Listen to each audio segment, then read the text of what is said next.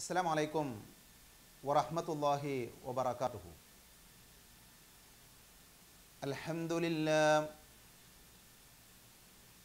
الحمد لله رب العالمين نحمده ونستعينه ونستغفره ونعوذ بالله من شرور أنفسنا ومن سيئات أعمالنا من يهده الله فلا مضل له ومن يضلل فلا هادي له. أشهد أن لا إله إلا الله وحده لا شريك له وأشهد أن محمدا عبده ورسوله. اللهم صل على محمد وعلى آل محمد. كما صليت على إبراهيم وعلى آل إبراهيم. إنك حميد مجيد. اللهم بارك على محمد وعلى آل محمد كما باركت على إبراهيم وعلى آل إبراهيم. إنك حميد مجيد. أما بعد فإن خير الحديث كتاب الله وخير الهدي هدي محمد صلى الله عليه وسلم وشر الأمور محدثاتها وكل محدثة بدعة وكل بدعة ضلالة وكل ضلالة في النار. أعوذ بالله من الشيطان الرجيم.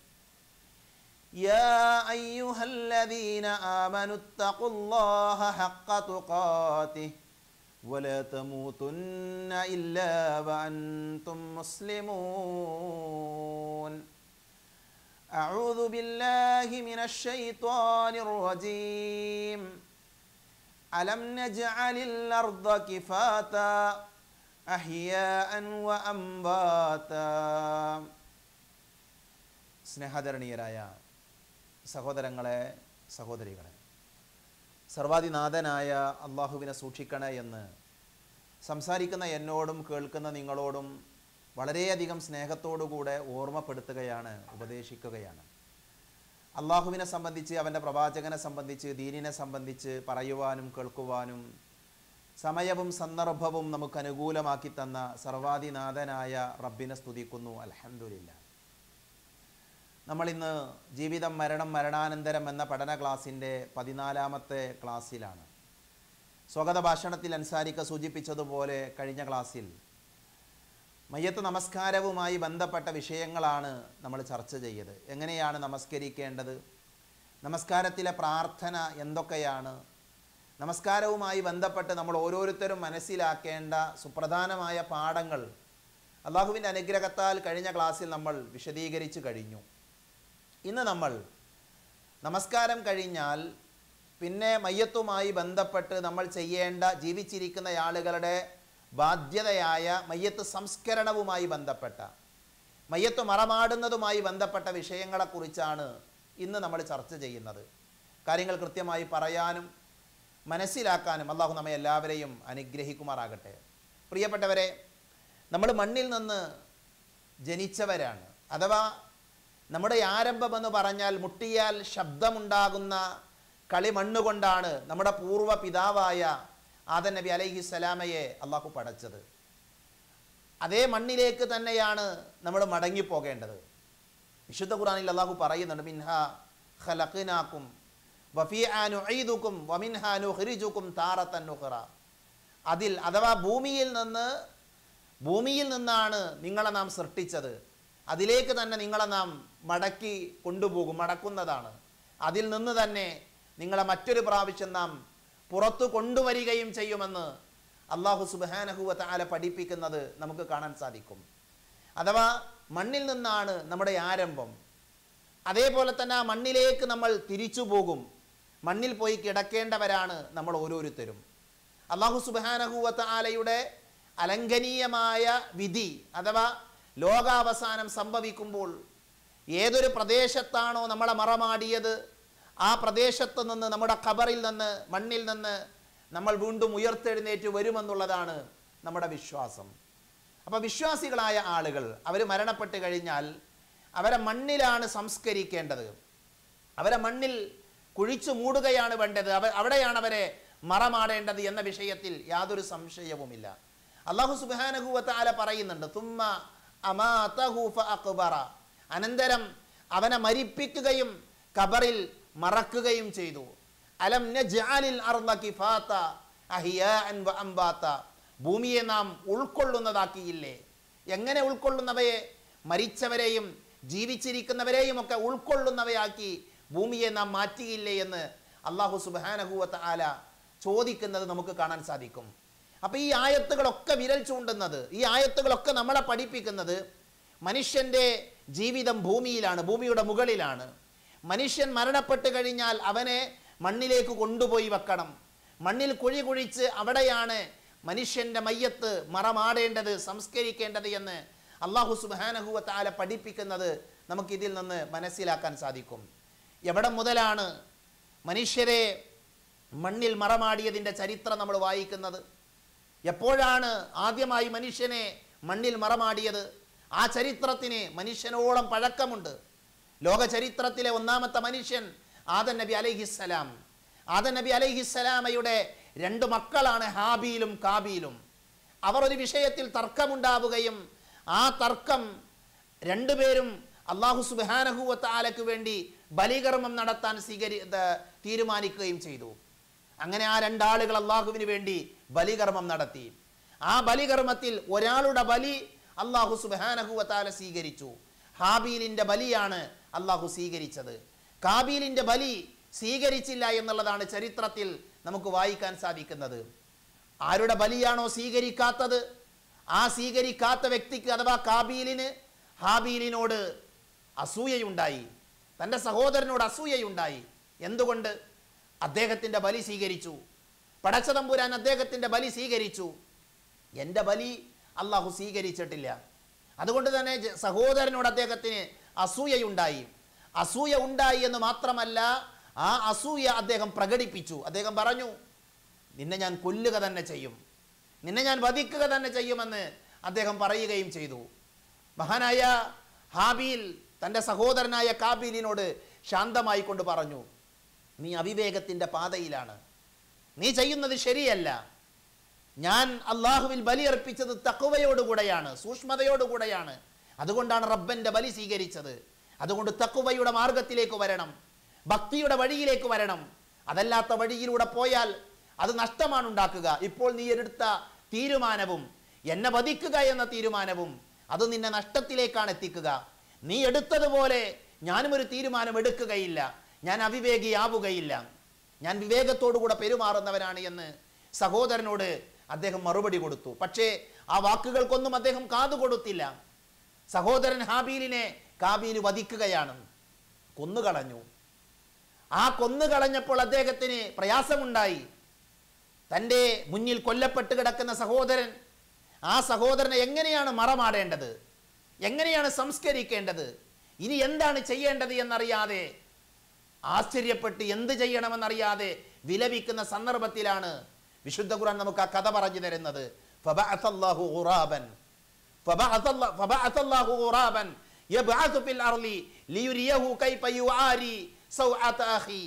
അള്ളാഹു പഠിപ്പിക്കുകയാണ്. അപ്പോൾ തന്റെ സഹോദരന്റെ മൃതദേഹം മറ ചെയ്യേ മറവ് ചെയ്യേണ്ടത് എങ്ങനെയാണ് എന്ന് അവന് കാണിച്ചു കൊടുക്കുവാനായി നിലത്ത് മാന്തി കുഴിയുണ്ടാക്കുന്ന ഒരു കാക്കയെ അള്ളാഹു നിയോഗിച്ചു എന്നാണ്. കാക്കയെ നമ്മൾ കണ്ടിട്ടുണ്ട്. ആ കറുത്ത പക്ഷിയെ. ആ ഒരു കറുത്ത പക്ഷിയെ അള്ളാഹു നിയോഗിക്കുകയാണ്. എന്തിനാ പറഞ്ഞയക്കുന്നത്? തന്റെ സഹോദരനെ എങ്ങനെയാണ് മറമാടേണ്ടത് എന്ന് അവനെ പഠിപ്പിക്കാൻ വേണ്ടി അവൻ കാഴ്ച കണ്ടു. അവൻ ആ കാഴ്ച കണ്ടു. കാക്ക കുഴി കുത്തി തന്റെ കുഞ്ഞിനെ മറമാടുന്ന ആ കുഴിയിൽ സംസ്കരിക്കുന്ന രീതി അവൻ കണ്ടു. ഹാബിയിൽ കണ്ടു. കാബിയിൽ കണ്ടു. അപ്പോൾ കാബിയിൽ വിലപിക്കുന്നുണ്ട്. അത് അവൻ പറഞ്ഞിട്ടുണ്ട് എന്തൊരു കഷ്ടം. എന്റെ സഹോദരൻ ആ സഹോദരന്റെ മൃതദേഹം മറവ് ചെയ്യുന്ന കാര്യത്തിൽ ഈ കാക്കയെ പോലെയാകാൻ പോലും എനിക്ക് കഴിയാതെ പോയല്ലോ. അങ്ങനെ അവൻ ഖേദക്കാരുടെ കൂട്ടത്തിൽ പെട്ടുപോയി എന്നാണ് വിശുദ്ധ ഖുറാനിൽ അള്ളാഹു നമ്മളെ പഠിപ്പിക്കുന്നത്. അപ്പൊ നോക്കൂ നിങ്ങൾ മനുഷ്യനെ മണ്ണിൽ മറമാടിയതിന്റെ ചരിത്രം അത് മനുഷ്യനോളം പഴക്കമുണ്ട് എന്നുള്ളത് ഞാൻ വെറുതെ പറഞ്ഞതല്ല. അള്ളാഹു സുബാനഹുവത്താല ഒരു കാക്കയെ പറഞ്ഞയച്ച് എങ്ങനെയാണ് സംസ്കരിക്കേണ്ടത് എന്ന് ഹാബീലിന് കാണിച്ചു കൊടുത്തത് വിശുദ്ധ ഖുർആൻ നമുക്ക് പറഞ്ഞു തരികയാണ്. അപ്പം മരണപ്പെട്ടു പോയ മനുഷ്യനെ മയ്യത്ത് കുളിപ്പിച്ചാൽ കപം ചെയ്താൽ അതേപോലെ തന്നെ മയ്യത്ത് നമസ്കാരം നിർവഹിച്ചാൽ പിന്നെ ബാക്കിയുള്ള കാര്യം മറമാടുക എന്നുള്ളതാണ്. സംസ്കരിക്കുക എന്നുള്ളതാണ്. അവിടെ നമ്മുടെ ചര്യ എന്താണ്? പ്രവാചകന്റെ രീതി എന്താണ്? മണ്ണിൽ മറമാടുക എന്നുള്ളതാണ്. മുസ്ലിങ്ങൾക്ക് അവരെ മണ്ണിൽ മറമാടുക എന്നുള്ളതാണ് പ്രവാചകൻ സല്ല അലൈഹി സ്വലമയുടെ ചര്യ. ഇവിടെ നാം മനസ്സിലാക്കേണ്ടത് വിശ്വാസികളായ ആളുകളെ സംസ്കരിക്കാൻ വേണ്ടി അവരുടെ മയ്യത്ത് മറമാടാൻ വേണ്ടി പ്രത്യേകമായ സ്ഥലമുണ്ടായിരിക്കണം. മഹാനായ റസൂലുള്ളാഹിയുടെ കാലഘട്ടത്തിൽ ബഖിയുൽ ഗർഖദ് ബഖിയുൽ ഗർഖദ് എന്നാണ് സ്വഹാബികളായ ആളുകളെ മറമാടിയിരുന്ന ആ പിന്നെ ഖബർസ്ഥാനിന്റെ പേര്. ബഖിയുൽ ഗർഖദ് എന്നാണ്. ജന്നത്തിൽ പിന്നെ ബക്കി എന്നൊക്കെ ചില ആളുകൾ പറയാറുണ്ട്. അത് ശരിയായ പേരല്ല. ബഖിയുൽ ഗർഖദ് എന്നാണ് നമ്മൾ അതിനെ അതിന്റെ യഥാർത്ഥ പേര് എന്ന് നമ്മൾ മനസ്സിലാക്കണം. അതായിരുന്നു വിശ്വാസികളായ ആളുകളുടെ ഖബർസ്ഥാൻ അവരെ മറമാടിയിരുന്നത് അവിടെയാണ്. ലോകത്ത് പല ആളുകളും മയ്യത്തിനെ മരണപ്പെട്ട വ്യക്തിയെ ദഹിപ്പിക്കുന്ന സമ്പ്രദായം കത്തിക്കുന്ന സമ്പ്രദായം നമ്മൾ കണ്ടിട്ടുണ്ട്. യഥാർത്ഥത്തിൽ പരിശുദ്ധ ഇസ്ലാം അതിനെ അംഗീകരിക്കുന്നില്ല. ഇസ്ലാം ഒരു കുഴി കുത്തി ആ കുഴിയിൽ മറമാടുക എന്ന രീതിയാണ് പഠിപ്പിച്ചത് എന്ന് പ്രമാണങ്ങൾ പരിശോധിക്കുമ്പോൾ നമുക്ക് മനസ്സിലാക്കാൻ സാധിക്കും. മഹാനായ റസൂലുള്ളാഹി സ്വല്ലല്ലാഹു അലൈഹി വസല്ലമ നമ്മളെ പഠിപ്പിച്ചത് ഒരു മയ്യത്തിനെ നമ്മൾ മറമാടുകയാണ് എങ്കിൽ വലിയ പ്രതിഫലം നമ്മളെ കാത്തിരിക്കുന്നുണ്ട് എന്ന് പ്രവാചക തിരുമേനി പറഞ്ഞിട്ടുണ്ട്. അഹ്കാമുൽ ജനായിസുമായി ബന്ധപ്പെട്ട ഈ വിഷയം നമ്മൾ ചർച്ച ചെയ്തപ്പോൾ പല സന്ദർഭത്തിലും നമ്മൾ ആ ഹദീത്ത് കേട്ടിട്ടുണ്ട്. അതുകൊണ്ട് തന്നെ ഞാൻ ആവർത്തിക്കുന്നില്ല. ഒരാൾ മയ്യത്തിനെ അനുഗമിച്ചു മയ്യത്ത് നമസ്കരിച്ചു മയ്യത്തിന്റെ കൂടെ അതിന്റെ സംസ്കരണ പ്രക്രിയകളിൽ പങ്കാളിയാവുകയാണ് എങ്കിൽ അവന് രണ്ട് ഖീറാത്ത് പ്രതിഫലമുണ്ട്. ഒരു ഖീറാത്തി എന്ന് പറഞ്ഞാൽ ഉഹുദ് മലയോളമാണ് എന്ന് നബി സല്ലല്ലാഹു അലൈഹി വസല്ലം പഠിപ്പിച്ചത് നമുക്ക് കാണാൻ സാധിക്കും. അതുകൊണ്ട് തന്നെ വലിയ പ്രതിഫലം ജനാസ സംസ്കരണത്തിൽ പങ്കെടുക്കുന്ന വ്യക്തികൾക്കുണ്ട് എന്ന് പ്രവാചക തിരുമേനി പറഞ്ഞിട്ടുണ്ട്. അതിന്റെ മഹത്വം നമ്മൾ മനസ്സിലാക്കണം. അതിന്റെ ശ്രേഷ്ഠത നമ്മൾ ഉൾക്കൊള്ളണം. അതേപോലെ തന്നെ മയ്യത്ത് വേഗം മറമാടണം. മയ്യത്ത് നമസ്കാരം വേഗത്തിലാക്കണം. മയ്യത്ത് കുളിപ്പിക്കുന്നത് ഒരു വ്യക്തി മരണപ്പെട്ട് കഴിഞ്ഞാൽ വേഗമാണ് സംസ്കരണ പ്രക്രിയകൾ നടക്കേണ്ടത്. ഇത് ഫല തഹ്ബിസൂഹു നബി പറയുന്നുണ്ട് നിങ്ങളിൽ ഒരാൾ മരിച്ചാൽ നിങ്ങളിൽ ഒരാൾ മരണപ്പെട്ടാൽ അയാളെ നിങ്ങൾ തടഞ്ഞു വെക്കരുത്. അയാളുടെ കബറിലേക്ക് അയാളെ നിങ്ങൾ വേഗം എത്തിക്കണമെന്ന് നബി സല്ലല്ലാഹു അലൈഹി വസല്ലം പഠിപ്പിച്ചത് കാണാൻ സാധിക്കും. മയ്യത്ത് മറമാടാൻ വൈകിപ്പിക്കുക ഒരിടത്തു നിന്നും മറ്റൊരിടത്തേക്ക് കൊണ്ടുപോവുക മറമാടുവാൻ ആഴ്ചയിൽ ഒരു പ്രത്യേകമായ ദിവസം തിരഞ്ഞെടുക്കുക ഇതൊക്കെ സുന്നത്തിനെതിരായ വിഷയങ്ങളാണ്. ഇതൊന്നും പ്രവാചകന്റെ ചര്യയല്ല. പ്രവാചകൻ പറഞ്ഞത് അസ്രി ഉബിൽ ജനാസ. ജനാസയുമായി നിങ്ങൾ ധൃതി കാണിക്കണമെന്നാണ്. നമ്മൾ പറഞ്ഞ ഹദീത്താണ്. ഞാൻ ആവർത്തിക്കുന്നില്ല. അപ്പൊ ഒരു മയ്യത്ത് നമ്മുടെ മുന്നിലുണ്ടെങ്കിൽ നമ്മുടെ ഇടയിൽ നിന്ന് ഒരാൾ മരണപ്പെട്ടു പോയാൽ അയാളെ സംസ്കരിക്കുവാൻ നമ്മൾ ധൃതി കാണിക്കണം. എന്തിനാണത്? അത് പ്രവാചകന്റെ സുന്നത്താണ്. അത് പ്രവാചകന്റെ ചര്യയാണ്. അപ്പൊ ആ മയ്യത്തിനെ നമ്മൾ വീട്ടിൽ നിന്ന് പള്ളിയിലേക്ക് നമസ്കരിക്കാൻ വേണ്ടി കൊണ്ടുപോകുമ്പോൾ മൗനം പാലിക്കണമെന്ന് നമ്മൾ വിശദീകരിച്ചു. ഇനി പള്ളിയിൽ നിന്ന് കബർസ്ഥാനിലേക്ക് ദൂരമുണ്ട് എന്ന് വിചാരിക്കൂ. അങ്ങോട്ടുള്ള യാത്രയിലും മൗനം അവലംബിക്കണം. അവിടെ ശബ്ദമുണ്ടാക്കാൻ പാടില്ല എന്നുള്ളത് നാം പ്രത്യേകം മനസ്സിലാക്കണം. സ്ത്രീകൾ മയ്യത്തിനെ അനുഗമിക്കുന്നത് വിലക്കപ്പെട്ട കാര്യമാണ് എന്ന് നാം വിശദീകരിച്ച കാര്യമാണ്. ഒന്നുകൂടെ സാന്ദർഭികമായി ഇവിടെ സൂചിപ്പിച്ചു എന്ന് മാത്രം. പ്രിയപ്പെട്ടവരെ അപ്പൊ മുസ്ലിങ്ങളായ ആളുകൾക്ക് ഒരു പൊതുശ്മശാനം ഉണ്ടായിരിക്കണം. അവിടെയാണ് മുസ്ലിങ്ങളായ ആളുകളെ മറമാടേണ്ടത്. മറമാടാൻ നമ്മൾ ധൃതി കാണിക്കുക എന്നുള്ളത് റസൂലുള്ളാഹിയുടെ ചര്യയാണ്. എന്നാൽ മയ്യത്ത് കബറടക്കുന്നതിന് വിരോധിക്കപ്പെട്ട ചില സമയങ്ങളുണ്ട്. മയ്യത്ത് മറമാടുന്നത് വിരോധിക്കപ്പെട്ട ചില സമയങ്ങൾ നബി സല്ലല്ലാഹു അലൈഹി വസല്ലമ പഠിപ്പിച്ചിട്ടുണ്ട്. ഒരു മയ്യത്ത് ഒരാൾ മരണപ്പെട്ട് കഴിഞ്ഞാൽ രാത്രിയിലാകട്ടെ പകലാകട്ടെ സൗകര്യം പോലെ എത്രയും പെട്ടെന്ന് ആ മയ്യത്തിനെ സംസ്കരിക്കുക എന്നുള്ളതാണ് നബിചര്യ എങ്കിലും മൂന്ന് സന്ദർഭങ്ങളിൽ നബി സല്ലല്ലാഹു അലൈഹി വസല്ലമ മയ്യത്ത് മറമാടുന്നത് വിരോധിച്ചിട്ടുണ്ട് മഹാനായ മൂസബിനു അലിബിനു റബാഹ് റളിയല്ലാഹു അൻഹു അദ്ദേഹം ഉദ്ധരിക്കുന്ന ഹദീത്തിൽ കാണാം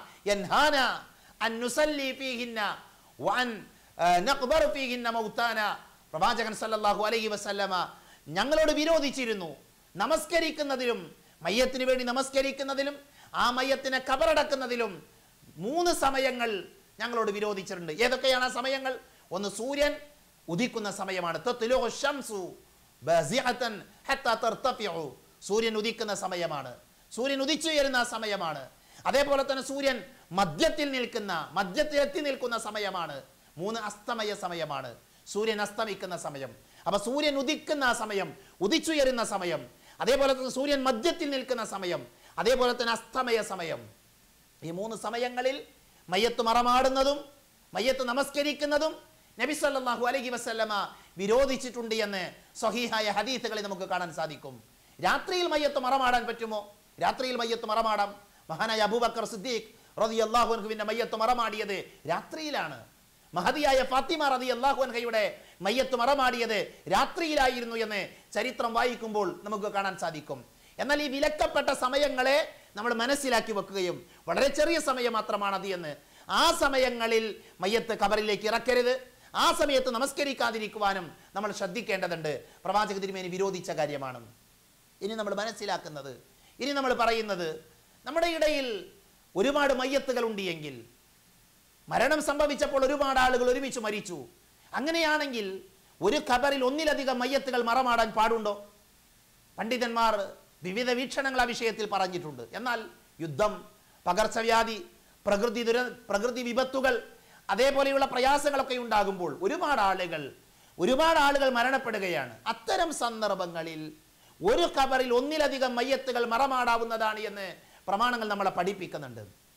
കാരണങ്ങളില്ലാതെയല്ല പ്രത്യേകമായ കാരണങ്ങൾ ഉണ്ടാകുമ്പോൾ യുദ്ധമാകട്ടെ പകർച്ചവ്യാധിയാകട്ടെ പ്രകൃതി ദുരന്തങ്ങളാകട്ടെ അത്തരം സന്ദർഭങ്ങളിലെല്ലാം ഒരു ഖബറിൽ തന്നെ ഒരു കുഴി കുത്തി ആ കുഴിയിൽ ഒന്നിലധികം മയ്യത്തുകൾ മറമാടുന്നതിന് വിരോധമില്ല എന്നാണ്. ജാബിർ റതി അള്ളാഹുൻകു ഉദ്ധരിക്കുന്ന ഹദീസിൽ കാണാം. ഉഹദ് യുദ്ധത്തിന്റെ സന്ദർഭത്തിൽ രണ്ടാളുകളെ ഒരു ഖബറിൽ മറമാടുകയുണ്ടായി. അപ്പോൾ അവരിൽ ആരെയാണ് ആദ്യം കബറിൽ വെക്കേണ്ടത് എന്ന വിഷയത്തിൽ ഒരു ചർച്ച വന്നപ്പോൾ പ്രവാചകൻ ചോദിക്കുന്നുണ്ട് അയ്യുഹും അക്തറു അഹദൽ അഖ്ദൽ ഖുർആൻ? ആരാണ് അവരിൽ നിന്ന് ഏറ്റവും കൂടുതൽ ഖുർആൻ അറിയുന്നയാൾ ഖുർആൻ ഏറ്റവും പഠിച്ചയാൾ ആരാണ് അപ്പോൾ അവരൊരാളിലേക്ക് ചൂണ്ടിക്കാണിച്ചു. അങ്ങനെ അയാളെ മുന്തിക്കുവാൻ അയാളെ ആദ്യം കബറിലേക്ക് വെക്കുവാൻ നബി സല്ലല്ലാഹു അലൈഹി വസല്ലമ പറഞ്ഞത് ഹദീസിൽ നമുക്ക് കാണാൻ സാധിക്കും. അപ്പോൾ ഖുർആൻ അറിയുന്നതിന്റെ അടിസ്ഥാനത്തിൽ കൂടുതൽ അറിവുള്ളതിന്റെ അടിസ്ഥാനത്തിൽ ആദ്യം അവരെ കബറിലേക്ക് വെക്കുക അവരെ മുന്തിക്കുക. അങ്ങനെയാണ് പ്രവാചകൻ സല്ലാഹു അലഹി വസല്ലം പഠിപ്പിച്ചത്. എന്താണ് അതിൽ നിന്ന് നമുക്ക് മനസ്സിലാക്കാൻ സാധിക്കുന്ന കാര്യം? ഒന്നിലധികം മയ്യത്തുകൾ ആവശ്യമാണ് എങ്കിൽ അനിവാര്യമാണ് എങ്കിൽ ഒരു ഖബറിൽ തന്നെ മറമാടുന്നതിന് വിരോധമില്ല എന്ന് ഈ പ്രമാണങ്ങൾ നമ്മളെ പഠിപ്പിക്കുന്നുണ്ട്. എന്താണ് ഖബറിന്റെ രൂപം? എങ്ങനെയാണ് ഖബർ കുഴിക്കേണ്ടത് നമ്മളൊക്കെ ഖബർ കണ്ട ആളുകളാണ്. ഖബറിനെ സംബന്ധിച്ചിടത്തോളം ഖബർ ആവശ്യാനുസരണം വിശാലമുള്ളതായിരിക്കണം. അതിന്റെ അർത്ഥം എന്താണ്? ആവശ്യാനുസരണം വിശാലമുള്ളതായിരിക്കണം. അനാവശ്യമായി കൊണ്ടല്ല മരണപ്പെട്ട വ്യക്തിയുടെ മയ്യത്തിന്റെ നീളവും മയ്യത്തിന്റെ വീതിയും പരിഗണിച്ചാണ് മയ്യത്തിന് നാം കബർ കുഴിക്കേണ്ടത്.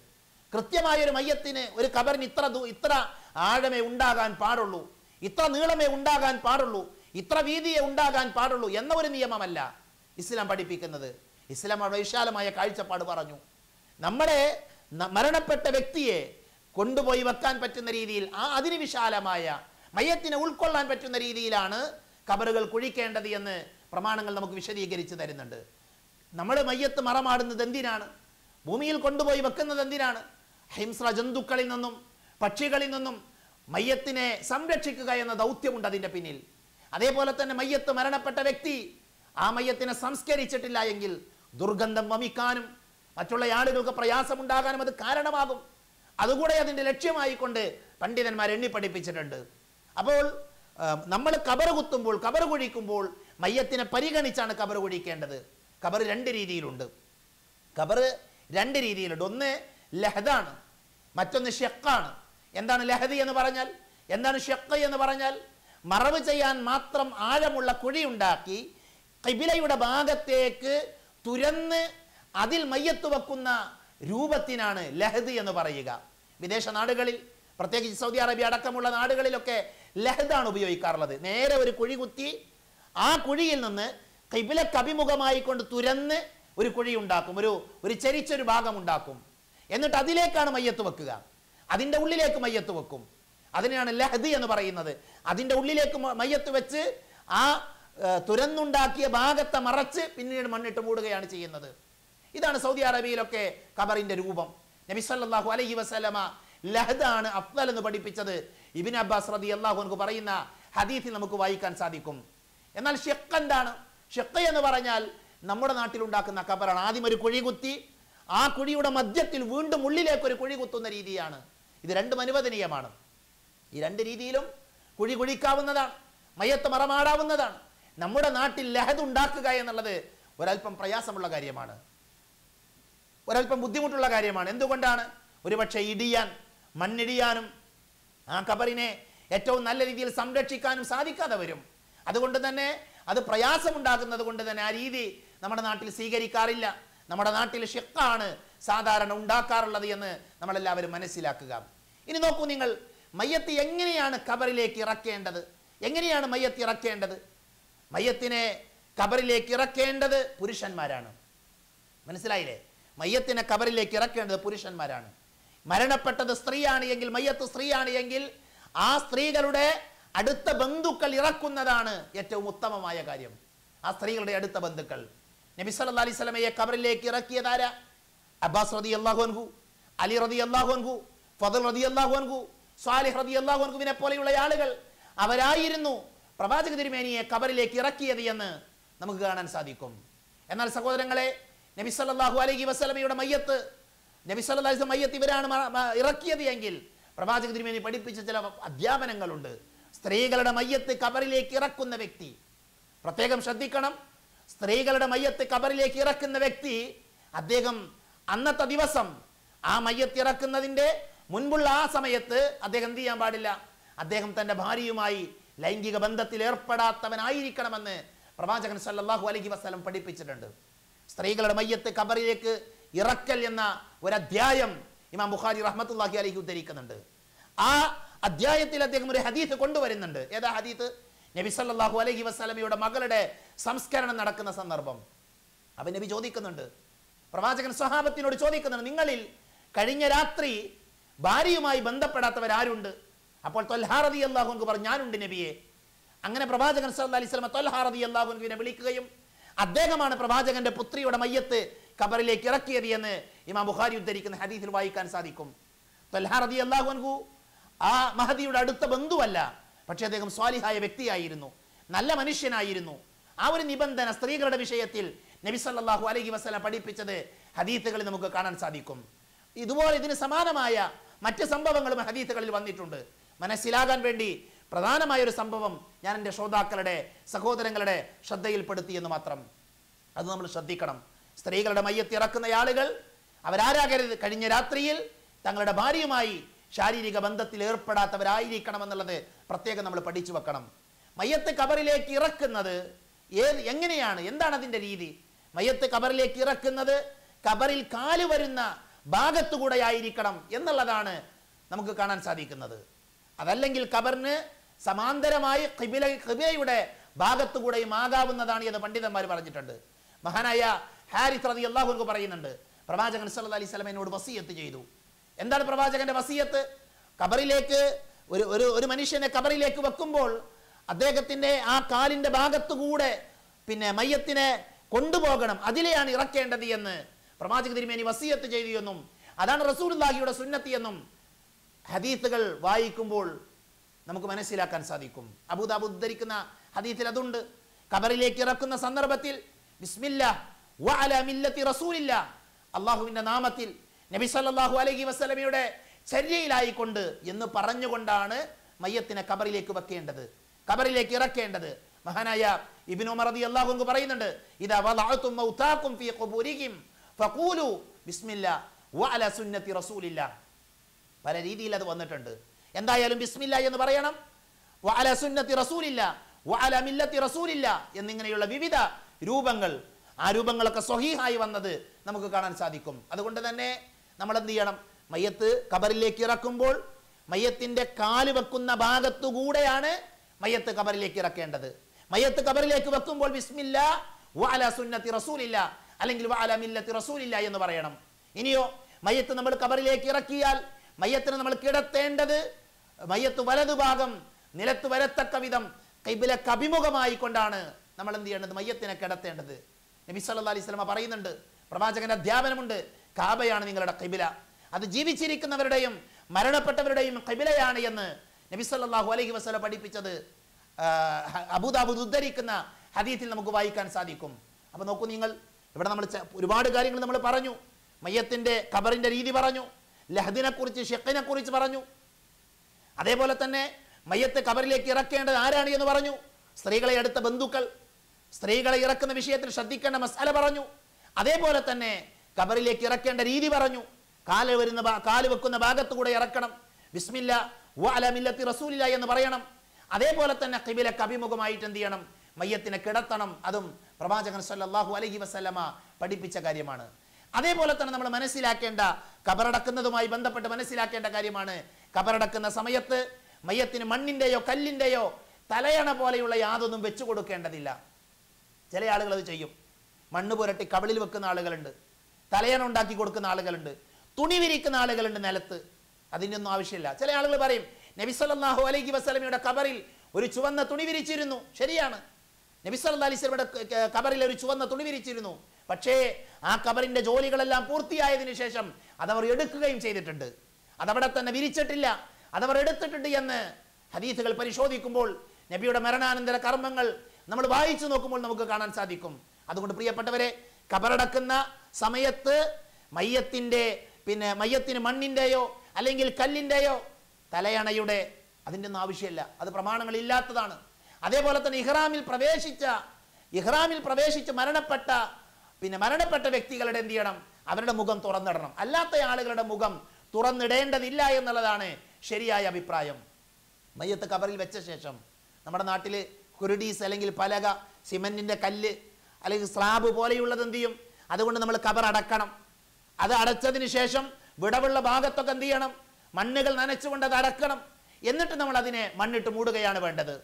പിന്നെ എന്ത് ചെയ്യണം?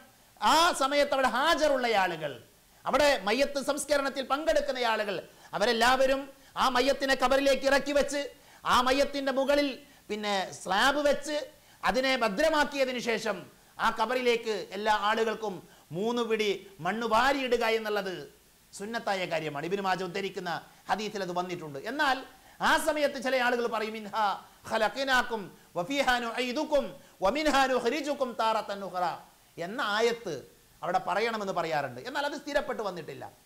അത് സ്വഹിയായി വന്നിട്ടില്ല. അത് പറയേണ്ട ആവശ്യമില്ല.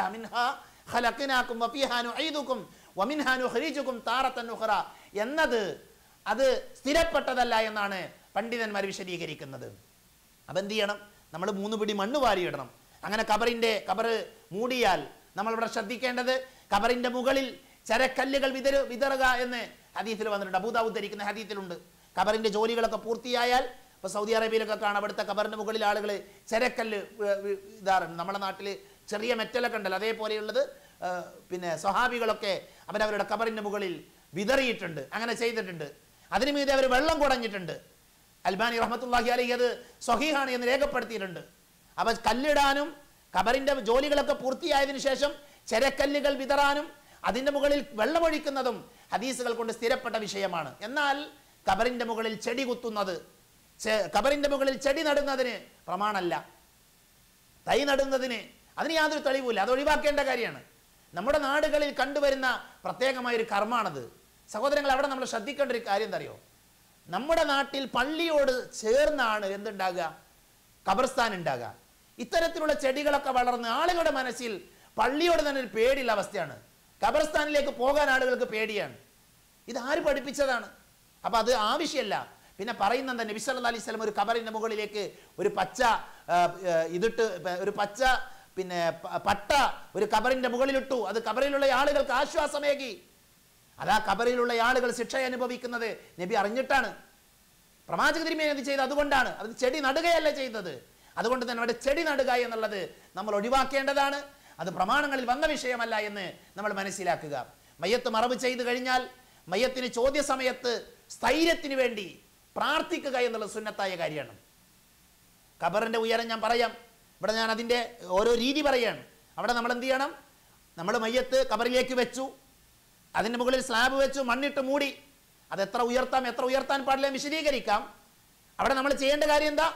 മയ്യത്തിന് വേണ്ടി സ്ഥൈര്യത്തിന് വേണ്ടി പ്രാർത്ഥിക്കണം. നബി സല്ലല്ലാഹു അലൈഹി വസല്ലമ അത് പറഞ്ഞു "ഇസ്തഗ്ഫിറു ലി അഖീകും വസലൂ ലഹു തസ്ബീത ഫഇന്നഹു ലൻ യുസ്അൽ. നബി പറയാണ് നിങ്ങൾ എന്ത് ചെയ്യണം? നിങ്ങളുടെ സഹോദരന് വേണ്ടി നിങ്ങൾ പ്രാർത്ഥിക്കണം. ഇസ്തഗ്ഫിറു ലി അഖീക്കും. നിങ്ങളുടെ സഹോദരന് വേണ്ടി നിങ്ങൾ പാപമോചനം തേടണം. നിങ്ങൾ അവന് തസ്ബീത്തിന് വേണ്ടി അവന് ഉറപ്പ് കിട്ടാൻ വേണ്ടി നിങ്ങൾ അള്ളാഹുവിനോട് ചോദിക്കണം. അവനെ ഇപ്പൊ ചോദ്യം ചെയ്യും. അവന്റെ അടുക്കലേക്ക് ഇപ്പോൾ മലക്കുകൾ വരും. എന്നിട്ട് വിചാരണ നടത്തും. അതുകൊണ്ട് തന്നെ നിങ്ങൾ എന്ത് ചെയ്യണം? അവന് സ്ഥൈര്യം കിട്ടാൻ ഉറപ്പ് കിട്ടാൻ വേണ്ടി നിങ്ങൾ അള്ളാഹുവിനോട് പ്രാർത്ഥിക്കണം. ഇതിന്റെ അടിസ്ഥാനത്തിൽ സ്വഹാബികൾ പ്രാർത്ഥിക്കാറുണ്ടായിരുന്നു. ഒരു മയ്യത്ത് മറമാടുമ്പോൾ ആ മയ്യത്തിന് വേണ്ടി സ്വഹാബികൾ ദുആ ചെയ്യുമായിരുന്നു. ചില സ്വഹാബികൾ പറഞ്ഞിട്ടുണ്ട് നിങ്ങൾ ഞങ്ങൾ മരിച്ചാൽ അവിടെ വന്ന് പ്രാർത്ഥിക്കണം കബറിന്റെ അടുക്കൽ വെച്ച് പ്രാർത്ഥിക്കണം എത്ര സമയം പ്രാർത്ഥിക്കണം? ഒരു ഒട്ടകത്തെ അറുത്ത് അതിന്റെ തോൽ പൊളിച്ച് വിതരണം ചെയ്യുന്ന അത്രയും സമയം അത്രയും ദീർഘമായി നിർവഹിക്കാൻ അത്രയും സമയം ദീർഘമായി പ്രാർത്ഥനകൾ നിർവഹിക്കാൻ വരെ ചില സ്വഹാബികൾ വസീയത്ത് ചെയ്തിരുന്നു എന്ന് കാണാൻ പറ്റും. എന്നാൽ ഏതാണ് ആ പ്രാർത്ഥന? ആ പ്രാർത്ഥനയുടെ പ്രത്യേക പദങ്ങളുണ്ടോ? ആ പ്രാർത്ഥനയുടെ പ്രത്യേക പദങ്ങൾ നബി സല്ലല്ലാഹു അലഹി വസല്ലം പഠിപ്പിച്ചിട്ടില്ല. നബി പറഞ്ഞെന്താ? നിങ്ങളുടെ സഹോദരന് വേണ്ടി പ്രാർത്ഥിക്കണം. അദ്ദേഹത്തിന് തസ്ബീത്ത് കിട്ടാൻ ഉറപ്പ് കിട്ടാൻ വേണ്ടി നിങ്ങൾ എന്ത് ചെയ്യണം? പ്രാർത്ഥിക്കണം. സാധാരണ നമ്മുടെ നാട്ടിൽ പ്രാർത്ഥിക്കും അള്ളാഹുമ്മ ഇൻ ദ അള്ളാഹുവേ ഇദ്ദേഹത്തിന് നീ എന്ത് ചെയ്യണം? ചോദ്യത്തിന് ഇദ്ദേഹത്തിന് ചോദ്യത്തിന് സമയത്ത് നീ സ്ഥൈര്യം നൽകണം. അള്ളാഹുമ അലഹിം ഹുൽ ജവാബ്. അള്ളാഹുവേ ഇദ്ദേഹത്തിന് ഉത്തരങ്ങൾ നീ തോന്നിപ്പിച്ചു കൊടുക്കണം. അള്ളാഹു ജാഫിൽ ഖബർ അൻജംബൈ അള്ളാഹുവേ ഇദ്ദേഹത്തിന്റെ പാർശ്വങ്ങളിൽ നിന്നും ഖബറിനെ നീ അകറ്റണം. അള്ളാഹുമ ഗഫിർ ലഹു വർഹംഹു അള്ളാഹുവേ ഇദ്ദേഹത്തിന് നീ പുറത്തു കൊടുക്കുകയും കരുണ കാണിക്കുകയും ചെയ്യണം. അള്ളാഹുമ ആമിൻഹു മിൻ കുല്ലിൽ ഫസ. അള്ളാഹുവേ എല്ലാവിധ പരിഭ്രമങ്ങളിൽ നിന്നും പ്രയാസങ്ങളിൽ നിന്നും ഇദ്ദേഹത്തിന് നീ നിർഭയത്വം നൽകണേ എന്ന് പ്രാർത്ഥിക്കാറുണ്ട്. അള്ളാഹുമ സബിത്തുഹു ഇൻ ദ സുആൽ എന്ന് തുടങ്ങുന്ന പ്രാർത്ഥന. അത് ഹദീസിന്റെ അടിസ്ഥാനത്തിലുള്ള പ്രാർത്ഥനയല്ല. അത് സെലഫുകൾ നിർവഹിച്ച പ്രാർത്ഥനയാണ്. നമുക്ക് നിർവഹിക്കാം. നല്ല പദങ്ങളാണ്.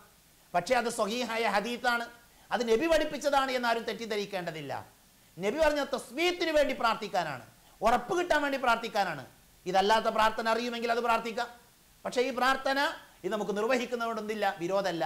മനസ്സിലായില്ലേ? ഇത് സുന്നത്താണ് ഇതേ പ്രാർത്ഥിക്കാവൂ എന്ന് നമ്മൾ വാദിക്കേണ്ട ആവശ്യമില്ല എന്നർത്ഥം. അപ്പോൾ ഒരു വ്യക്തിയെ കബറടക്കുന്ന രീതി നമ്മൾ മനസ്സിലാക്കി. എങ്ങനെയാണ് കബറിലേക്ക് മയ്യത്ത് വെക്കേണ്ടത്? ഏത് വഴിക്കാണ് മയ്യത്ത് കൊണ്ടുവരേണ്ടത്? കബറിലേക്ക് വെക്കുമ്പോൾ എന്താണ് പറയേണ്ടത്?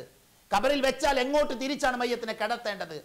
മയത്തിനെ തിരിച്ചു കിടത്തിയതിന് ശേഷം കിബിലക്ക് നേരെ കിടത്തിയതിനു ശേഷം മുഖം വെളിവാക്കേണ്ടതുണ്ടോ? ആരുടെ മുഖമാണ് വെളിവാക്കേണ്ടത്? അതിനുശേഷം നമ്മൾ അതിന്റെ മുകളിൽ സ്ലാബ് വെക്കേ വെക്കണമെന്നും മണ്ണിടണമെന്നും ആ മണ്ണിടുന്ന സമയത്ത് നമ്മൾ ചെയ്യേണ്ട കാര്യം എന്താണ് പ്രത്യേക പ്രാർത്ഥന അവിടെ ഇല്ല എന്നൊക്കെ മനസ്സിലാക്കി. എന്നാൽ മയ്യത്തിന് വേണ്ടി തസ്ബീത്ത് ചോദിക്കണം. അതിന് പ്രത്യേക പദങ്ങളില്ല. പ്രത്യേക ലഫ്തുകളില്ല സലഫുകൾ പറഞ്ഞ പ്രാർത്ഥനയുണ്ട്. അത് നമുക്ക് നിർവഹിക്കാവുന്നതാണ്. ഇതൊക്കെ നമ്മൾ പഠിച്ചു. ഇതൊക്കെ നമ്മൾ മനസ്സിലാക്കി. ഇനി ഇവിടെയുള്ള പ്രശ്നം എന്താണ്? കബറിന്റെ അടുത്ത് നമ്മൾ ശ്രദ്ധിക്കേണ്ട ചില കാര്യങ്ങളുണ്ട്. ഒന്ന് കബർ കെട്ടി ഉയർത്താൻ പാടില്ല. ആരുടെ കബറും കെട്ടി ഉയർത്താൻ പാടില്ല? ജാബിർ അതി അള്ളാഹുക്ക് പറയാണ്. എന്താ പ്രവാചകൻ സല്ലാ അലൈഹി സ്വലമ പറഞ്ഞത്? നബി സല്ലാഹു അലൈഹി വസല്ലം വിരോധിച്ച കാര്യമാണ്. ഐ യുജസ്സസുൽ ഖബറു വഅൻ യുഖഅദ അലൈഹി വഅൻ യുബ്ന അലൈഹി നഹാ റസൂലുള്ളാഹി അലൈഹി വസല്ലം പ്രവാചക തിരുമേനി വിരോധിച്ചിട്ടുണ്ട്. എന്ത്? ഖബറു എന്താ പ്രവാചകൻ വിരോധിച്ചത്? വിരോധിച്ച് കബറ് കെട്ടിപ്പൊക്കുക അതേപോലെ തന്നെ കുമ്മായം സിമന്റ് ഇടുക സിമന്റ് കൊണ്ട് തേക്കുക അതേപോലെ തന്നെ കെട്ടിടം പണിയുക കബറിൽ മേൽ എഴുതുക ഇതൊക്കെ നബി വിരോധിച്ചിട്ടുണ്ട്. കബറിൽ മേൽ ചവിട്ടുക ചാരി നിൽക്കുക ഇതൊക്കെ നബി സല്ലല്ലാഹു അലൈഹി വസല്ലം വിരോധിച്ച കാര്യമാണ്. അതിലെ പ്രധാനപ്പെട്ട കാര്യം എന്താ? കബർ കെട്ടി ഉയർത്താൻ പാടില്ല. കബർ കെട്ടിപ്പൊക്കാൻ പാടില്ല. മുസ്ലിം സമൂഹത്തിലെ പല ആളുകളുടെയും കബറുകൾ കെട്ടിപ്പൊക്കിയത് നമുക്ക് കാണാൻ പറ്റും. അല്ലേ കേരളത്തിൽ ഒരുപാട് ദർഗകളുണ്ട് മക്കാമുകളുണ്ട് പാടില്ലാത്ത കാര്യമാണ്. പ്രവാചകന്റെ ശര്യക്കെതിരാണത്. അത്തരം കബറുകളിൽ പോയി പ്രാർത്ഥന നടത്തുന്ന ആളുകളുണ്ട്. അത്തരം കബറിന്റെ സമീപത്ത് പോയി മക്കളെ ചോദിക്കുന്നവരുണ്ട്. അത് പാടില്ലാത്ത കാര്യമാണ്. ഷിർക്കാണ് കബർ കെട്ടിപ്പൊക്കുന്നതേ തെറ്റാണ് എന്ന് നമ്മൾ മനസ്സിലാക്കുക. കബറാണ് എന്ന് അറിയാൻ ഇതൊരു കബറാണ് എന്ന് മനസ്സിലാക്കാനും ആ കബറിനെ നിന്ദിക്കാതിരിക്കാനും വേണ്ടി ഒരു ചാൺ ഉയർത്തുക എന്നതാണ് പ്രമാണത്തിൽ വന്നിട്ടുള്ളത്. കബർ ഒരു ചാൺ ഉയർത്താം ഭൂമിയിൽ നിന്ന്. കബറിന്റെ ഈ വിഷയം വായിക്കുമ്പോൾ ഏറ്റവും അത്ഭുതം തോന്നിയ ഏറ്റവും കൗതുകം തോന്നിയ ഒരു വാചകമുണ്ട്. മഹാനായ ഇമാം ഷാഫിഹി റഹ്മത്തുല്ലാഹി അലഹി പറഞ്ഞൊരു വാചകം. അദ്ദേഹം പറഞ്ഞ എന്താ അറിയോ നിങ്ങൾ കബർ കുഴിക്കുമ്പോൾ ആ കബറിൽ നിന്ന് എടുക്കുന്ന മണ്ണുണ്ടല്ലോ. ആ കബർ കുഴിക്കാൻ വേണ്ടി നിങ്ങൾ പുറത്തെടുക്കുന്ന മണ്ണ്. ആ മണ്ണല്ലാതെ പുറത്തു നിന്നൊരു കൊത്തു മണ്ണ് കോരി നിങ്ങൾ എന്ത് ചെയ്യരുത്? ഒരിക്കലും കബറിന്റെ കാര്യങ്ങൾക്ക് വേണ്ടി വിനിയോഗിക്കരുത്. മനസ്സിലായോ? കബർ കെട്ടിപ്പൊക്കാൻ പാടില്ല. നിങ്ങൾക്ക് ക്ലിയർ ആയിട്ട് മനസ്സിലാക്കാൻ പറ്റും. ഇമാം ഷാഫി റഹ്മത്തുള്ളാഹി അലഹി പറഞ്ഞാണ്. അപ്പോൾ ഖബർ എന്ത് ഒരു ചാൺ ഉയർത്താം. അതിലേറെ പാടില്ല. ഒരു ചാണിലേറെ ഖബർ ഉയർത്താൻ പാടില്ല. നോക്കൂ നിങ്ങൾ ഖബർമ കുമ്മായ ഇടരുത്. ഖബർമ എഴുതാൻ പാടില്ല. അതേപോലെ ചവിട്ടാൻ പാടില്ല. അതേപോലെ ചാരി നിൽക്കാൻ പാടില്ല. ഇതൊക്കെ നബി സല്ല അലൈഹി സ്വലമ ഹദീസുകളിൽ പഠിപ്പിച്ച വിഷയമാണ്. അത് നമ്മൾ ശ്രദ്ധിക്കണം. അതേപോലെ തന്നെ ഖബറിന്റെ അടുത്ത് ചില ചില സ്ഥലങ്ങളിൽ ഖബറിന്റെ അടുത്ത് ഖുറാനോത്തുണ്ട്. ഒരാൾ മരിച്ചാൽ ഞങ്ങളൊക്കെ നാട്ടിൽ പറയാം കത്തപ്പുര കെട്ടിയിട്ട് ഓതുക എന്ന് പറയും. ഖബറിന്റെ അടുത്തൊരു വീടൊക്കെ ഉണ്ടാക്കിയിട്ട് ഇങ്ങനെ ഓതുക. അവിടെ കുറേ ആൾക്കാരെ ഏൽപ്പിക്കും ജോലിക്കാരെ ഏൽപ്പിക്കും. എന്നിട്ട് അവരെ പോയിട്ട് അവിടെ പോയിട്ട് ഖുറാൻ ഓതുന്ന പരിപാടിയുണ്ട്. അത് പ്രവാചക തിരുമേനി പാടില്ല എന്ന് പറഞ്ഞ കാര്യമാണ്. അബു ഹുറൈറ റതി അള്ളാഹുൻ ഉദ്ധരിക്കുന്ന ഹദീത്തിലേക്കാണല്ല അത് ജാലു മഖാബിറ. നിങ്ങളുടെ വീടുകളെ നിങ്ങൾ കബറുകളാക്കരുത്. നിങ്ങളുടെ വീടുകളെ നിങ്ങൾ കബറുകളാക്കരുത്. ഇന്ന സൂറത്തുൽ സൂറത്തുൽ ബഖറ. സൂറത്തുൽ പാരായണം ചെയ്യുന്ന വീട്ടിൽ നിന്ന് പിശാജ് ഓടിപ്പോകും. അപ്പം ഇതിന്റെ അർത്ഥം എന്താ? വീട്ടിൽ ഖുറാനോത്ത് നടക്കണം. ഖുർആൻ ഖബർ പോലെ ഓത്ത് നടക്കാത്തൊരു സ്ഥലമാക്കിയിട്ട് വീടിനെ മാറ്റരുത്ന്ന്. മനസ്സിലായില്ലേ? അപ്പോൾ വീട്ടിലാണ് ഓത്ത് നടക്കേണ്ടത്. ഖബറിന്റെ അവിടെ അല്ല ഖബറിലുള്ള വ്യക്തി അദ്ദേഹം മരിച്ചുപോയി. അദ്ദേഹം അദ്ദേഹത്തിന്റെ നന്മകളും അല്ലെങ്കിൽ അദ്ദേഹത്തിന്റെ തിന്മകളുമായിട്ട് അതിന്റെ ഉള്ളിൽ ജീവിക്കുകയാണ് ഒന്നെങ്കിൽ നല്ല അനുഭവമായിരിക്കും അല്ലെങ്കിൽ മോശ അനുഭവമായിരിക്കും. ജീവിച്ചിരിക്കുന്ന ആളുകൾക്ക് അദ്ദേഹത്തിന് വേണ്ടി ചെയ്യാൻ പറ്റുന്ന കാര്യങ്ങളൊക്കെ നമ്മൾ പഠിച്ചു കഴിഞ്ഞു മനസ്സിലാക്കി കഴിഞ്ഞു. അതിൽ ഖുർആൻ ഒത്തില്ല മരണപ്പെട്ടു പോയ വ്യക്തിക്ക് വേണ്ടി ഖുർആൻ ഓതുക എന്നുള്ളത് പ്രവാചക തിരുമേനി പഠിപ്പിച്ച കാര്യമല്ല. മനസ്സിലായില്ലേ? കബറിന്മേൽ പള്ളി ഉണ്ടാക്കാൻ പാടില്ല. ചില ആളുകൾ ചില ആളുകളുടെ കബറിന്മേൽ വലിയ പള്ളി ഉണ്ടാക്കും. അല്ലേ? കേരളത്തിലൊക്കെ വലിയ വലിയ പള്ളികളുടെ പണികളൊക്കെ തുടങ്ങി വാർത്തകളൊക്കെ വായിക്കാറുണ്ട്. എന്തിനാ? മരണപ്പെട്ട വ്യക്തിയെ മറമാടി അതൊരു വരുമാന മാർഗമാക്കി മാറ്റാൻ. മുമ്പ് ചില സെലഫി പ്രഭാഷകന്മാരുടെ പ്രഭാഷണത്തിലൊക്കെ കബറുകളൊക്കെ വിറ്റ ചരിത്രമൊക്കെ വായിച്ചിട്ടുണ്ട്. കബറുകൾ പൈസ കൊടുത്ത് വാങ്ങിയത് ലക്ഷങ്ങൾ കൊടുത്ത് വാങ്ങിയതൊക്കെ കേട്ടിട്ടുണ്ട്. ഈ സമൂഹം എവിടുക്ക പോണത്? അപ്പോൾ ഇതൊരു കച്ചവട മാർഗമാക്കി മാറ്റുകയാണ്. നമ്മളെ സംബന്ധിച്ചിടത്തോളം നമ്മൾ ദീന് പഠിക്കുന്ന ആളുകളാണ്. കബറുകൾ കെട്ടി ഉയർത്താൻ പാടില്ല. അതുമ്പോൾ പള്ളി ഉണ്ടാക്കാൻ പാടില്ല. അതുമ്പോൾ എഴുതാൻ പാടില്ല. ഇതൊക്കെ നബി സല്ലല്ലാഹു അലൈഹി വസല്ലമ ഖബറുമായി ബന്ധപ്പെട്ട് നമ്മളെ പ്രത്യേകമായി പഠിപ്പിച്ച കാര്യങ്ങളാണ് അതേപോലെ തന്നെ പ്രത്യേക പുണ്യം പ്രതീക്ഷിച്ചിട്ട് എന്ത് ചെയ്യാൻ പാടില്ല? കബറുകളിലേക്ക് യാത്ര പോകാൻ പാടില്ല. നമ്മുടെ നാട്ടിൽ കുറേ ആളുകൾ പ്രത്യേക പുണ്യം പ്രതീക്ഷിച്ച് കബറിലേക്ക് പോകാറുണ്ട് അല്ലേ? മസാജിദ. മൂന്ന് പള്ളികളിലേക്കല്ലാതെ പ്രത്യേക പുണ്യം പ്രതീക്ഷിച്ചുകൊണ്ട് യാത്ര പോകാൻ പാടില്ല എന്നാണ് ഒന്നേതാ? മസ്ജിദി ഹാദ വമസ്ജിദിൽ വമസ്ജിദിൽ ഹറം വമസ്ജിദിൽ അഖ്സ. മസ്ജിദി ഹാദ എന്ന് പറഞ്ഞാൽ ഏതാ? മദീനത്തെ പള്ളിയാണ് ബൈത്ത് മസ്ജിദുൽ നബവിയാണ്. പിന്നെ മസ്ജിദുൽ ഹറമാണ് പിന്നെ മസ്ജിദുൽ അഖസയാണ്. ഈ മൂന്ന് പള്ളികളിലേക്കല്ലാതെ പ്രത്യേക പുണ്യം പ്രതീക്ഷിച്ച് യാത്ര പോകാൻ പാടില്ല. മനസ്സിലായില്ലേ? അപ്പോൾ എന്ത് ചെയ്യാൻ പാടില്ല? ഖബറിലേക്കുള്ള യാത്ര എന്തിനറിയോ? ഖബർ സന്ദർശിക്കുന്ന എന്തിനറിയോ? പരലോകത്തെക്കുറിച്ച് ഓർമ്മ ഉണ്ടാകാൻ ആഗ്രഹ സഫലീകരണത്തിനല്ല. ആഗ്രഹ സഫലീകരണത്തിനല്ല ഖബറുകളിലേക്ക് പോകുന്നത്. പിന്നെ എന്തിനാ? നമ്മൾ പോയി കിടക്കേണ്ടവരാണ്. നമ്മളെപ്പോലെ ഭൂമിയിൽ ജീവിച്ച ആളുകളാണ് അവർ അവരിപ്പോൾ അവിടെ ഇല്ല അവർ അവരുടെ ജീവിതം അവസാനിച്ചു.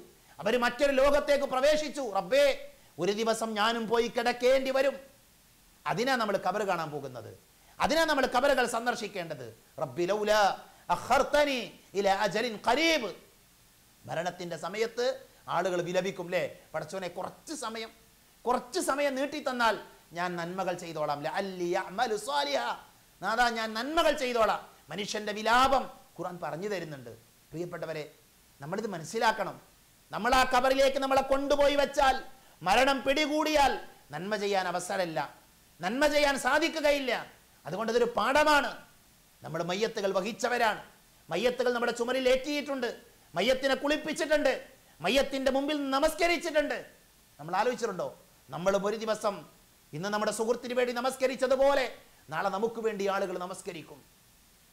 നമ്മൾ ഇന്ന് മറ്റുള്ളവരുടെ മയ്യത്ത് വഹിച്ചതുപോലെ നമ്മുടെ മയ്യത്തും ഏറ്റി നമ്മുടെ മയ്യത്തും ചുമന്ന് ആളുകൾ കബർസ്ഥാനിലേക്ക് പോകും. അവർ കബറിലേക്ക് ഇറക്കി വെക്കും. നമ്മൾ ഇറക്കി വെച്ചതുപോലെ നമ്മുടെ മയ്യത്തിനെയും ഇറക്കി വെക്കും. പ്രിയപ്പെട്ടവരെ നമ്മൾ മറ്റുള്ളവരുടെ മയ്യത്തുകളുടെ മുകളിലേക്ക് അവരുടെ കബറിലേക്ക് മണ്ണ് വാരിയിട്ടതുപോലെ നമ്മുടെ കബറിലേക്ക് മണ്ണ് വാരിയിടും. നമുക്ക് വേണ്ടപ്പെട്ട ആളുകൾ അവരവിടെ നിന്ന് തസ്ബീത്ത് ചോദിക്കും അവർ അവിടെ നിന്ന് പ്രാർത്ഥിക്കും എന്നിട്ട് അവർ തിരിച്ചു പോരും. പിന്നെ നമ്മൾ ഒറ്റക്കാണ് ആ ഇരുട്ടുള്ള വീട്ടിൽ. ആ ഇരുട്ടുള്ള കബറിൽ നമ്മൾ തനിച്ചാണ്. അവിടെ നമുക്ക് കൂട്ടിനുണ്ടാവുക. നമ്മുടെ സൽക്കർമ്മങ്ങളാണ്. നമ്മുടെ നാം ചെയ്ത നന്മകളാണ്. അതുകൊണ്ട് പ്രിയപ്പെട്ടവരെ ഒരവസരവും നഷ്ടപ്പെടുത്താതിരിക്കുക. ലഭിക്കുന്ന സമയങ്ങളിലെല്ലാം നന്മകൾ ചെയ്യാൻ വേണ്ടി പരിശ്രമിക്കുക. നമുക്ക് ധാരാളം കാര്യങ്ങൾ ചെയ്യാനുണ്ട്. എത്ര കാലം നമ്മൾ ജീവിക്കുമെന്ന് നമുക്ക് ആർക്കും പറയാൻ സാധ്യമല്ല. എപ്പോഴാണ് നമ്മുടെ മരണമെന്നും നമുക്ക് പറയാൻ സാധ്യമല്ല. ഖബർ സമീപത്തുണ്ട്. വകുല്ലുന്നാസു ഒരു കവി പറഞ്ഞ കൗസുൻ. മരണമെന്ന് പറഞ്ഞാൽ ഒരു കോപ്പയാണ്. കോപ്പയിലെ വെള്ളമാണ്. എല്ലാ മനുഷ്യരും അത് കുടിക്കും. അൽ മൗതു കൗസുൻ വകുല്ലു നാസു ശാരിബുഹു വൽ ഖബറു ബാബുൻ. ഖബർ എന്ന് പറഞ്ഞാൽ ഒരു വാതിലാണ്. വകുല്ലു നാസു ദാഖിലുഹു എല്ലാ മനുഷ്യരും ആ വാതിലിലൂടെ പ്രവേശിക്കുക തന്നെ ചെയ്യും. നമ്മൾ ഖബറിൽ പോയി കിടക്കും പ്രിയപ്പെട്ടവരെ. ആലോചിക്കുക. വലിയൊരു വീട്ടിൽ വലിയൊരു വീട്ടിൽ ആറടി നീളമുള്ള കട്ടിലിൽ ഒറ്റയ്ക്ക് കിടക്കാൻ നമുക്ക് പേടിയാണ് അല്ലേ? ലൈറ്റ് ഉണ്ട് ഇവിടെ. എല്ലാ സൗകര്യങ്ങളുമുണ്ട്. തൊട്ടപ്പുറത്തെ മുറിയിൽ ബാപ്പയുണ്ട് ഉമ്മയുണ്ട് സഹോദരങ്ങളുണ്ട് അല്ലേ? എല്ലാവരും ഉണ്ട് എന്നിട്ടും ഉറങ്ങാൻ നേരത്ത് കിടക്കുന്ന സമയത്ത് നമ്മൾ ചോദിക്കും വാതിലടച്ചിട്ടുണ്ടോ? ഉറപ്പ് വരുത്തും ഇല്ലേ സഹോദരങ്ങളെ? പേടിയാണ് നമുക്ക്. എന്നാൽ ആ ഒരു കുഞ്ഞു വീട്ടിൽ ഇരുട്ടുള്ള റൂമിൽ ലൈറ്റ് ഇല്ലാത്ത ബൾബില്ലാത്ത ഒന്നുമില്ലാത്ത ആ ഇരുട്ടറയിൽ നമ്മൾ പോയി കിടക്കണം. അവിടെ നമുക്ക് ജീവൻ ഉണ്ടാകും അവിടെ നമ്മുടെ റൂഹ് നമുക്ക് തിരിച്ചു കിട്ടും. നമ്മുടെ ശരീരത്തിലേക്ക് റൂഹ് മടക്കിത്തരും നമ്മളെ എഴുന്നേറ്റിരുത്തും പടച്ച തമ്പുരാൻ അവിടെ നമ്മളോട് ചോദിക്കും മലക്കുകൾ വന്നുകൊണ്ട് വിചാരണ നടത്തും. നമ്മളവിടുന്ന് ഭയപ്പെടുന്ന സന്ദർഭങ്ങളുണ്ട്. നമ്മൾ സന്തോഷിക്കുന്ന സമയമുണ്ട്. ഒരുപക്ഷെ സ്വർഗത്തിന്റെ പരിമളങ്ങൾ നമ്മുടെ കബറിലേക്ക് അള്ളാഹു നൽകും. സ്വർഗത്തിൽ നിന്നൊരു വാതിൽ അള്ളാഹു തുറന്നു വെക്കും. ഒരുപക്ഷെ നരകത്തിന്റെ ഭീകരതയും നരകത്തിന്റെ പ്രയാസങ്ങളുമായിരിക്കും നമ്മുടെ കബറിലേക്ക് വരിക. ഏതാണ് വേണ്ടത് എന്ന് തിരഞ്ഞെടുക്കാനുള്ള സ്വാതന്ത്ര്യം നമുക്കുണ്ട്. നമുക്കതിനുള്ള അവസരം തന്നിട്ടുണ്ട്. ഇതാ ഈ ലോകത്ത് നിങ്ങൾ നന്മ ചെയ്തു ജീവിച്ചോളൂ. ഈ ലോകത്ത് നിങ്ങൾ സൽക്കർമ്മങ്ങൾ ചെയ്തോളൂ. നിങ്ങൾ നമസ്കരിച്ചോളൂ. നിങ്ങൾ നോമ്പ് നോറ്റോളൂ നിങ്ങൾ അള്ളാഹുവിനെ മാത്രം ആരാധിച്ചോളൂ. നിങ്ങൾ ആളുകളോട് നല്ല നിലയിൽ പെരുമാറിക്കോളൂ. നിങ്ങളുടെ ഭാര്യയോട് നിങ്ങളുടെ ഭർത്താവിനോട് നിങ്ങളുടെ മക്കളോട് നിങ്ങളുടെ കുടുംബത്തോട് ഏറ്റവും നന്നായി പെരുമാറൂ. അള്ളാഹുവിനോടുള്ള ബാധ്യതകൾ നിർവഹിക്കൂ. ആരെയും വഞ്ചിക്കാതിരിക്കൂ. ചതി കാണിക്കാതിരിക്കൂ. അക്രമം കാണിക്കരുത്. അനീതി കാണിക്കരുത്. തോന്നിവാസം പ്രവർത്തിക്കരുത്. അങ്ങനെയാണ് എങ്കിൽ പ്രിയപ്പെട്ടവരെ കബറിൽ നമുക്ക് സമാധാനമുണ്ടാകും. കബറിൽ നമുക്ക് ആശ്വസിക്കാൻ വകയുണ്ടാകും. അതുകൊണ്ട് നാം പരിശ്രമിക്കുക. നല്ലവരായി ജീവിക്കാൻ വേണ്ടി അധ്വാനിക്കുക.